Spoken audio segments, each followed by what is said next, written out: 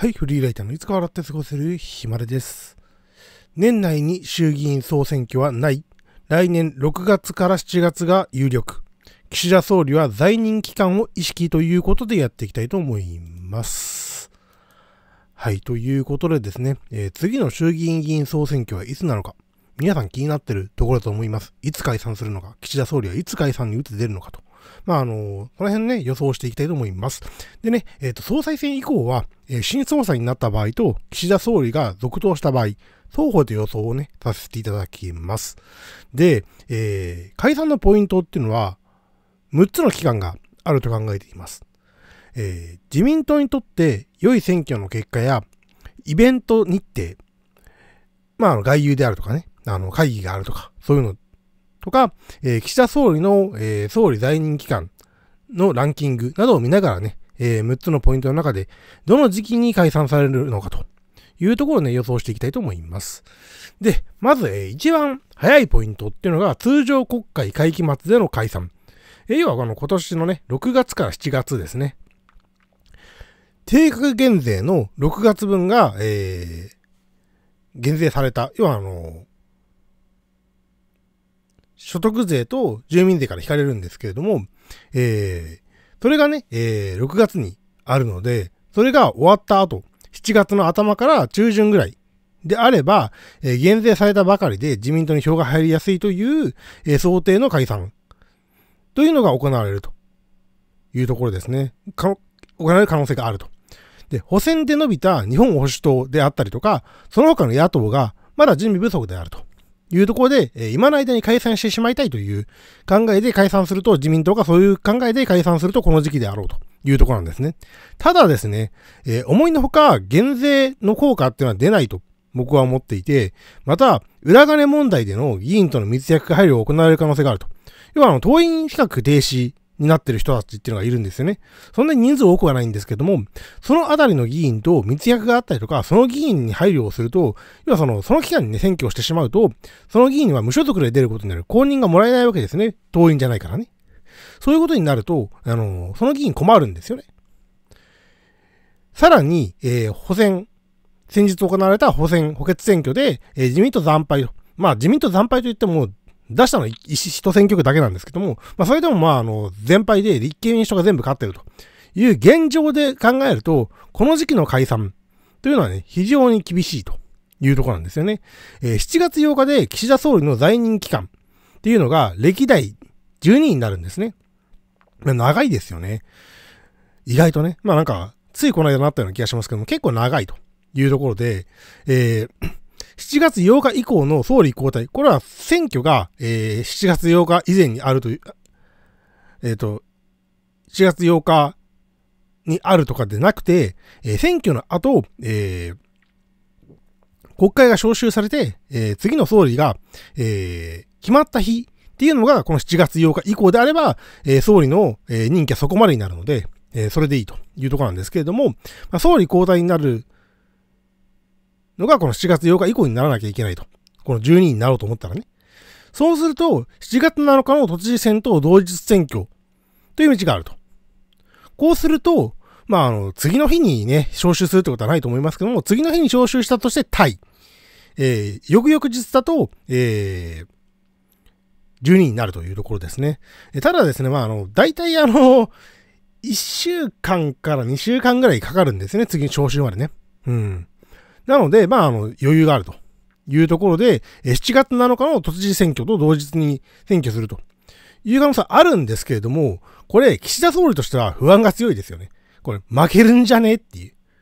ところがあって、えー解散に打って出られないと思うんですね。なので、この6月解散、結構テレビでは言われてるんですけれども、この6月解散、6月7月に解散、会期末解散っていうのは、まあ、あんまりないのかなと思っています。今年の、えー通常国会会期末での解散っていうのは、かなり可能性は低いかなと思っています。はい。で、えーと、次が、えー、二つ目のポイントとなってくるのが、総裁選前の8月から9月の解散。えー都知事選との同日選挙を避けた場合、お盆であったりとか、原爆関連の、えー記念日、えー終戦記念日などを避けて、えー8月末から、えー9月の頭の総裁選前というあたり総裁選前の8月末から9月頭ですね。ここがポイントになってくるというところなんですね。えー、国会閉会後に党内の改革を行って、しっかりと準備をした上で解散できるというところを考えると、この7月から、7月の終わりぐらいから8月の頭というところっていうのは可能性があるというところなんですけれども、えー、岸田総理としては、えー、もしも選挙をするのであれば、再選を果たすために選挙をすることになるんですね。そうすると、えー、この時期に、えー、選挙をして、まあ、勝ちたいというとこなんだけれども、勝って総裁選に挑めば、まあ、再選しやすいよねっていうとこなんだけども、この短期間で国民の不信感って取り除くことはできますかっていうと、まあ、あのー、無理だよね。露骨なね、えー、ばらまきとかをすれば、もしかしたらいけるかもしれないけれども、まあ、ないよねっていうところを考えると、えー、この時期の解散っていうのは難しいよねっていうところなんですね。まあ、あの、通常国会、まだありますけれども、さすがに国会はね、突然、あのー、7月までに、7月、8月ぐらいに、20万円配ります。30万円配ります。まあ、無理でしょうというところなんですね。はい。で、えー、その次となってくるのが、えー、総裁選の後の解散というところ。まあ、こう、この総裁選が行われた後は、えー、総理大臣が岸田総理になるかどうかわからないと。別の人に変わってる可能性が、まあ、僕は高いと思いますけれども、えー、そうなった場合、えー、総裁選で岸田総理から次の、えー、総裁にチェンジと。チェンジして、えー、人気のある議員を、えー、総理総裁に据えて、裏金問題もある程度落ち着いて、ご祝儀相場もあるこの時期に解散してしまおうという感じでね、解散するというところ。で、えー、ここ30年間で10月解散っていうのは多いんですね。ただ、9月末に行われることを想定される総裁選後となると、すぐと言っても、まああの、10月中はさすがに、えー、内閣を組んだり、えー、選挙の準備をしたりっていうことを考えると、10月ってちょっと厳しいよねっていう話になってきて、まああるとしても10月の終わりぐらいとなってくるんだけども、今度11月に、えー、G20、ん ?G20 があるんですね。で、えー、アメリカ大統領選もあるというところを考えると、この時期で解散っていうのも厳しいというところなんですね。ちなみに、大統領選と衆議院議員選挙が同時期に行われたっていうのが、え2000、違いますね。1960年というところで、えーと、これが、ちょっと待ってくださいね。資料があるんですけれども、えーと、これだ。えー、衆議院議員選挙が、えー、1960年の11月20日にあったんですね。で、その、えー、ちょっと前、え大統領選挙、アメリカ大統領選挙が、えー、1960年の11月の20日にあったんですね。20日？違いますね。6日ですね。えー、6日。20日が、えー、衆議院議員選挙で、6日、ん ?6 日？違う、8日ですね。8日、ですね。えー、8です。8日です。8日に、えー、大統領選があって、えー、20日に、えー、衆議院議員選挙があったというところなんですね。まあ、えっ、ー、と、これ以来であるというところなんですけれども、まあ、えっ、ー、と、まあね、ないんじゃないっていうところですよね。うん。はい。まあ、ここもね、難しいというところ。まあ、あの、よ、60年、64年ぶりぐらいですか？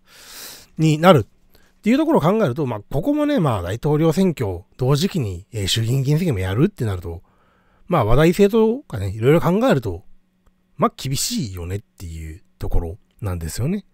で、えー、4つ目の解散ポイントは12月、今年の年末ですね。えー、今年の年末に、えー、行われるというところで、12月っていうのは日本憲法のもとにおいて、えー、最も選挙が多いんですね。衆議院議員解散総選挙が多いんです。えー、ここ30年でも10月について多い月になると。いうのはこの12月なんですね。年内では最も可能性が高いと思うんですけれども、えー、特にですね、新総裁の場合は支持率のご祝儀相場が終わる前で、この10月とか11月が難しいとなってくると、じゃあ12月ならいけるよねっていうところになるとですね、まあ、支持率がご祝儀相場が終わる前に、まあ、サクッとね、解散しちゃいたいというところあるですよね。まあ、解散して総選挙を行って、傷口を小さく収めたいと。まあ、なんとかね、えー、事故をもしくは自公もう一つくらい、要は維新であったりとか、えー、国民民主党であったりとかと組んで、なんとか政権を維持したいというところを考えるとですね、自民党が維持したいと思っているということを考えると、まあ、あの、この時期っていうのは可能性がね、高いんじゃないかなというところ。ただしですね、え、岸田総理続投の場合は、えー、11月19日に、え総理歴代順位で、歴代期間順位で10位になることを考えると、キリも良くて、年代で考えれば12月はありえない話ではないんですけれども、選挙後を考えると、えー、この時期に選挙をすると、まあおそらくまだ勝てないよねっていう。まあいつなら勝てるんだって話もあるんだけれども、まあちょっと厳しいですよねっていうところで、まあ特にね、この時期だと、あのー、裏金問題の議員さんたちっていうのが、まだ、えー、一人戻ってきてるのかな？ぐらいで、えー、半年だった人は戻ってこれるんですけども、えー、一年間の、えー、登園資格停止処分の人は戻ってきてないんですよね。はい。まあ、その辺を考えると、えー、岸田総理が続投している場合は、えー、可能性が少ないのかなというところです。えー、5つ目の、えー、ポイントっていうのが、来年の通常国会期末である、えー、6月から7月期末の後ですね、期末後、えー、国会が終わった後の6月から7月にかけて、6月の終わりぐらいから7月にかけての解散というところですね。私このポイントがね、最有力だと思ってるんですけども、来年のね、6月から7月っていうところが、まあ一番ね、あの、解散総選挙行われやすいんじゃないかなと思っています。えー、これはね、あの、総理総裁あ総裁が変わった場合、総理総裁が変わった場合でも、岸田総理が続投した場合でも、えー、この時期が一番可能性が高いのかなと思っています。えー、ここ30年間で1月から5月の解散ってないんですね。特に、あさらに、えー、通常国会の途中で解散というのは、まあちょっと最近の傾向から考えると考えづらいと。えー、年末のタイミングっていうのを逃すと、この時期、えー、6月から7月というところになってくるのかなというところです。で、えー、この時期であれば、裏金問題の党員資格停止組の処分が解けてるんですよね。そうですよね。今も、今まだ5月6日でもう処分始まってますから、えー、1年ってなると、6月だったら、まあ解けてると。いうところで、さらに、あの、まあ、1年経てば、まあ、ある程度忘れられてるっていう部分があるんですよね。まあ、あの、党員資格停止組が解けた時に、まあ、多少の報道はあるでしょうけれども、また、選挙をするってなると、まあ、あの、掘り返される可能性はあるんだけれども、掘り返される可能性はあるんだけれども、まあ、あの、今年のね、年内にするよりはね、全然あの、期間が空いているというところがあって、えー、新総理の場合は、あの、半年間、約半年の間で国民人気を投与する期間十分あるんですよね。人気取りの政策を実施して、まあ、あの、次の総理、あの、岸田さんの次の総理は頑張ってるじゃないかと。いうイメージを与えることができれば、有利に選挙を運ぶことが結構可能だよねって。ご祝儀相場は終わってるんだけれども、あの、その間にやったことでによって、えー、人気を取ると。あ、岸田さんはダメだったかもしれないけれども、次の人はいいよね。みたいな感じでの印象を与えることができれば、まあ、あの、選挙で勝てる可能性があると。いうところなんですね。岸田総理続投の場合でも、ここで在任期間、総理の在任期間9位になるんですね。で、いろいろとほとんど冷めてるよねっていうところで、追い込まれる前、まあ、あの、もう選べないよねってなる前に、まあ、なんとか解散をね、したいというところで、まあ、国民にね、支持を得やすい政策っていうのを、えー、まあ、6月、えっ、ー、と、6月までの、あの、通常国会の中で行った上で、まあ、あの、これからもまだまだ頑張ります。なんとかしますと。いうとこアピールした上で解散すると。いうところ。まあ、それでもね、岸田総理のままだとね、勝てるかって言われるとちょっと厳しいよねっていうところではあるんだけれども、えー、まあ、そういうところで、え、6月から7月のこの会期末解散というところはね、十分あるのかなというところです。えー、最後はですね、え、2025年の秋ですね。まあ、これはね、あの、10月30日が任期満了なので、まあ、追い込まれ解散ですよね、いわゆるね。はい。で、えー、岸田総理から別の総理に変わっていた場合は、この時期まで追い込まれることはないと思います。まあ、あの、6月までに解散するでしょ ?6 月、7月ぐらいに解散するでしょっていう話で、遅くともね。まあ、そう考えると、まあ、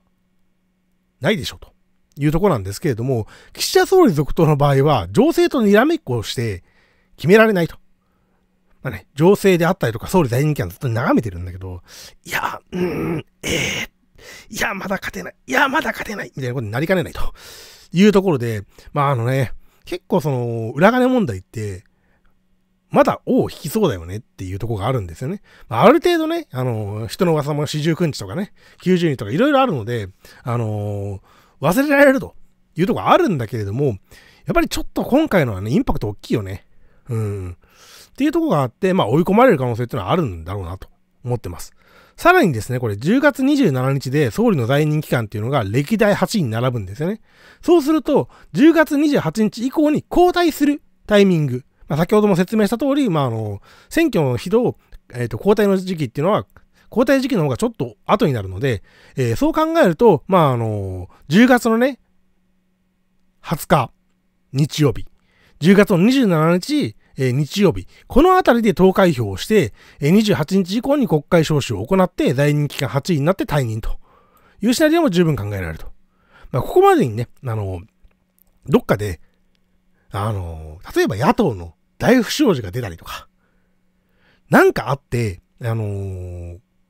状況が変わった場合っていうのは、もっと早く全然解散できると思うんですよ。6月とかね、7月とかっていうところでなくても、もっと早く解散する可能性ってのあるんだけど、なんか起こったらね、あの例えば立憲民主党の議員さんがね、大量に何かやらかしてたみたいなのが、バーンと出たりとかすると、ま、ちょっとそこは変わってきちゃうんだけども、何事も起きなら